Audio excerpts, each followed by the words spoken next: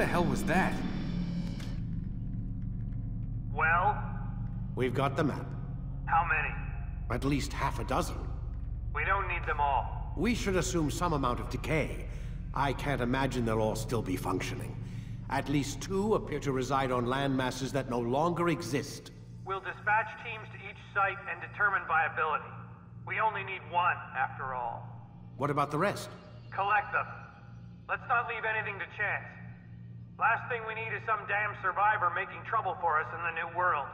And the assassin? We have what we need. Kill him. Wait. You know how these things work. I doubt we'll be able to walk right in. What's your point? We might need him. His memories.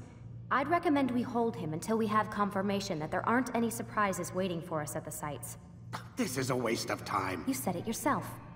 We shouldn't leave anything to chance. Very well. Ensure we have no further need of him, then kill him. Fine. Stop undermining my authority. I just saved your ass. Let's go. We've got a lot of work to do. Don't get too comfortable, Mr. Miles. We'll be back for you soon enough.